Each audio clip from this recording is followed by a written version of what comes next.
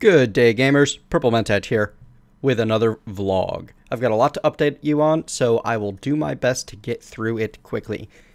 Behind me, or at least on the screen, you can see me starting a Civilization 5 game, in which I am playing Ethiopia going for a science victory on the King difficulty with a standard continents map.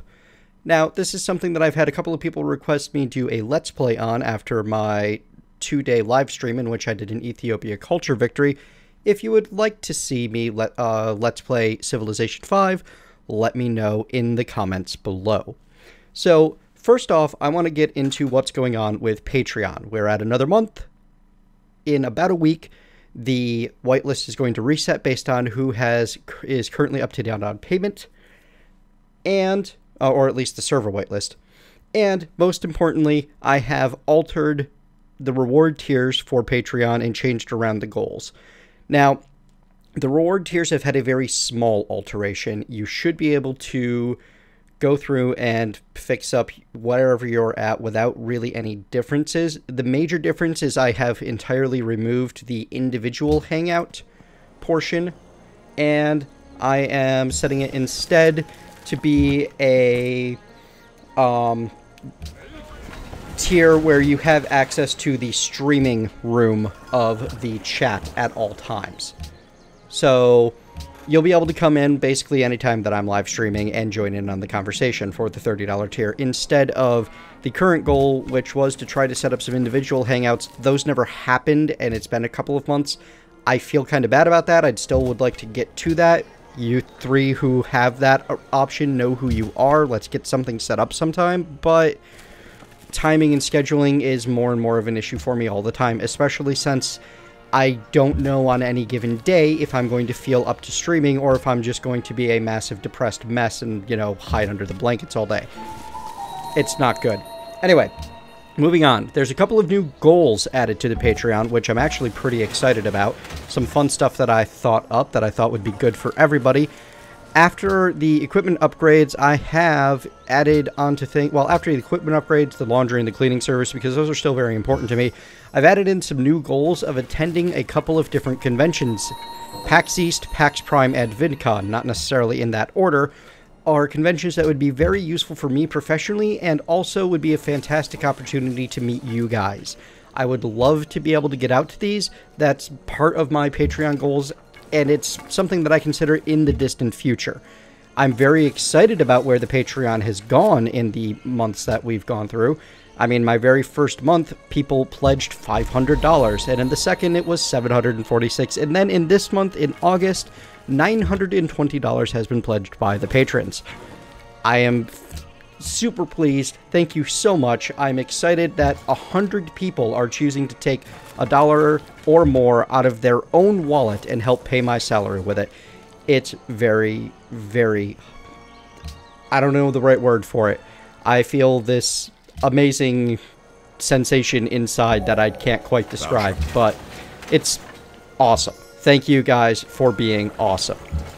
So, let's keep talking about what monetization options have been enabled and where you guys can help support me if you choose. A lot of you have commented that you're not very comfortable with Patreon being a monthly subscription.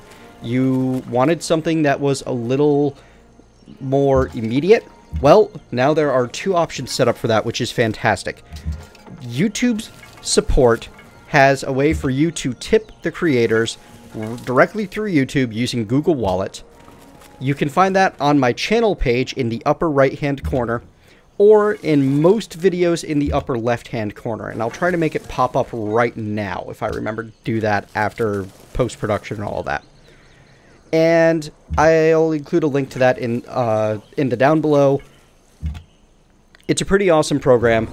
Most of the money goes directly to me, minus a very tiny fee that YouTube charges, and a few of you have already taken advantage of that. Thank you very much.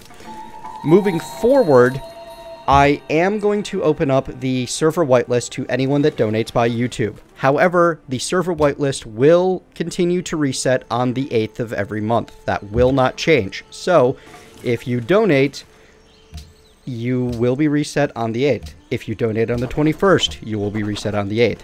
If you donate on the 6th or 7th, I'll probably roll it over, but no guarantees. So if you're donating purely to get on the server, remember that you're paying to play until the 8th of the next month. Or the current month if you donate, for example, today. Though I'll do my best to try to roll over anything that comes in at the beginning of the month until the month after that. But that's a level of administration and stuff that I don't really want to have to do. My goal is to create more videos and have a good time showing you guys these games. Now, the other option that's available, and there will be a link down below, is StreamTip.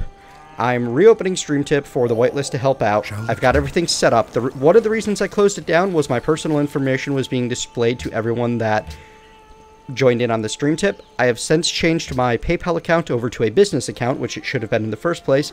So now you can send in your stream tips, and if you desire to, you can get access to the Minecraft server until the 8th of the next month. Same rules apply as on the YouTube support. The way this is going to be handled, in your comment, either on StreamTip or on the YouTube support, you're going to need to leave your email address and your in-game username. I'm going to pass those names along to the server admins who are currently volunteering to help keep things running, and they're going to handle the rest. If you don't include your email and you don't include your uh, in-game name when you leave the tip, too bad. I, I can't chase those people down. Um, I just don't have enough time in my day. I'm sorry. This is an extra, a bonus perk for the people that donate to me and make my life easier. But if you're going to make my life harder, then it, I'm just not going to meet you halfway on that, you know? I will work with you to a degree if you send it a tip I, and there's no comment on it. I'm very likely to message you and be like, hey, if you wanted server info, uh, access, you needed to leave your email address and your in-game name.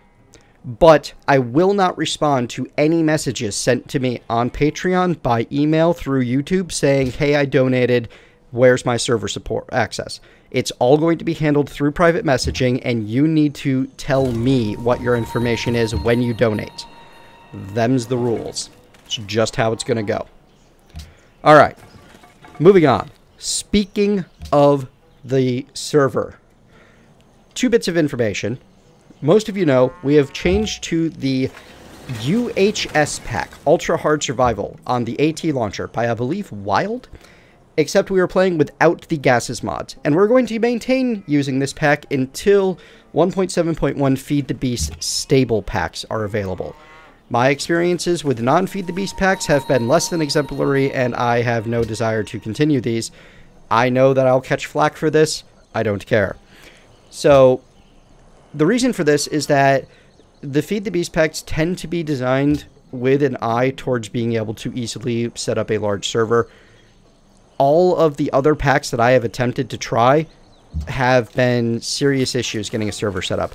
Vivo's had issues because it was early 1.7.1.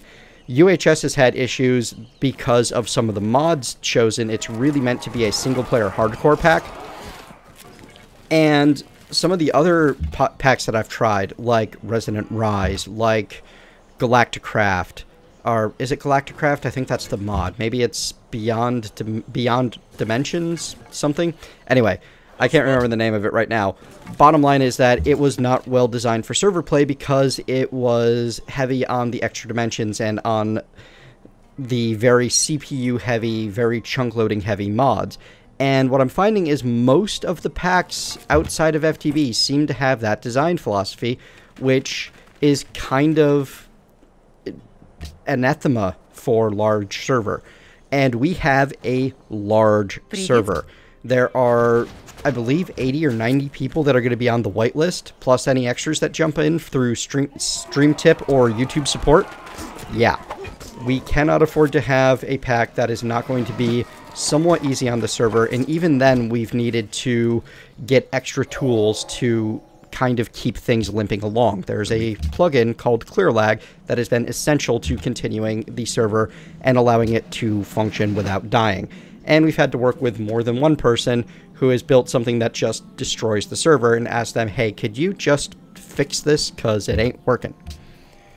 Now, speaking again of the server, everybody give a very warm thank you to Saffrim and Glitch Monkey for basically tanking point on the server technical issues, setting up UHS, setting up all of the extras, set, keeping everything running. I've had to do very little work, and that is amazing. That allows me to enjoy playing on the server and allows me to have a lot more fun with it. Getting everything started at the beginning of August, that was a week of, well, I can't use language strong enough on this channel to describe what that week was like for me, so we will never speak of it again. In short, Saffrim and Glitch Monkey have been a lifesaver. They are the go-to for the server, and Saffrim has asked me to share his email with anyone that ends up joining on the server, so I'm going to be going through him for most of the whitelisting and communication and such. So, thank you very much, Saffrim. Thank you very much, Glitch Monkey, for making this happen. Now, other Patreon things. Last month, in August, I was a little bit lax on getting the monthly hangouts set up, and it ended up happening in the very last Saturday. I had planned on it happening there, but I never made a proper announcement of when it was going to happen to the masses. So it ended up being a little low population, but we had a really good time playing some Lethal League, which is a fantastically fun game. This Saturday, I mean this month, I am targeting the 20th. 9 Saturday 9:20 from noon Eastern until 3 Eastern will be the Patreon hangout. I'm putting it in my calendar as we speak. I will not schedule anything over this, and it will be a good day for me because I have nothing going on that Sunday. It'll be a great weekend. Everything should be fine. So, mark that date, Saturday 9:20 noon to 3 Eastern. That will be the next Patreon Hangout live stream. And anyone of the $20 or above tier will have the opportunity to join me in whatever crazy, wacky multiplayer hijinks I'm getting up to that day. Okay, I think that covers all of the Patreon and such news. Um, next on the agenda, streaming. So I'm finding that live streaming is eating into my video production schedule. I've been keeping the live stream schedule and falling behind on videos. I am no longer pleased with this situation. As such, I am asking you guys what you want. In the down below, you will find a link to a survey where I request information about how often you'd like to see me live stream, what days you'd like to see me live stream, and what time schedule works better for you during the day for me to live stream. Also, there will be a comment form on that. I will read all of your comments. I will not necessarily respond to them because if everybody answers, I will have 10,000, 11,200 comments. So please, go to the down below, go to the survey, survey monkey, poke the monkey until he notes down your survey results and takes them, runs over screeching to me and bashes me on the head with the, the survey and then flings poo. That'll be good because then I'll have your information and I'll know what to do going forward. If you guys enjoy the live streams more than the videos, then I'm perfectly happy to continue live streaming more. I'm getting the support that I need on Patreon to have a good, proper, um, ooh, right, bad, bad stuff happening on the game. Uh, I have the support that I need coming in through Patreon to have a decent salary, even if I pursue live streaming as my primary and YouTube as the secondary. So let me know, you guys, what you would like to see more of, live streams or videos. Okay. I think that covers most of the channel news. Oh, uh, one other thing moving forward about live streaming. Um, so, I am discovering that when I live stream Minecraft, there is an awful lot of backseat gaming happening. So, moving forward, I'm not going to stop streaming Minecraft, but I've instructed the moderators to be significantly more ruthless about stopping people from backseat gaming. This means that if you come in there with the intention of telling me, hey, Purple Mentat, you're doing it wrong, do this, this, this, and this, you are going to be very quickly, uh, you're going to very quickly find yourself on the ban list of the channel. Don't do it. I'm announcing this here. I announced it on the live stream earlier, and I will announce it again on the live stream tomorrow, but just don't do it. Everybody will be happier that way. Speaking of channel news, I have something special coming in in the near future. I didn't get the game auditions done last month the way I wanted to, in part because I was launching the server and in part because the streaming was taking too much time. So I'm planning on kind of doubling up on those in September. Also, we're coming into the holiday season. Lots of new releases are going to be pouring out. I want to get through the game auditions on as many of them as possible. It seems like the iron is hot to... Uh, it, the time to strike is now. The iron is hot. Whatever, whatever metaphor, cliche so that I can start getting into the uh, some first impressions content, which I've been excited to do because I've discovered that, at least with my friends, one of my absolute favorite things to do is share a game and show them this awesome new thing that I've found. I would like to be able to do more of that with you guys too. So, you can expect game auditions to come back. Uh, I want Test Chamber to come back. I've been plugging away at a video on that for a while. My main goal right now, though, is to keep the Running Red and the Crash Landing rolling. I want to get those things finished this month, if not before that, and start uh, in on other Minecraft projects because I'm pretty sure sometime this month the 1.7.10 mod packs are going to start releasing in in uh, strength. I know that we have some on the AT launcher and on the Technic launcher, but the ones that I've seen have not thrilled me. However, if there is a 1.7.10 mod pack out there other than Mevos that you would really like to see me play through, please suggest it below and I will go take a look at it. I make no promises and no guarantees on whether I will pursue it or not. Alright, that's all the channel news, folks. If you're only here for the channel news and you have no interest in hearing about my personal life, now's the time to leave. If, however, you would like to hear about what's going on in my personal life, I'm about to start in on that. I'll give you about another 10 seconds.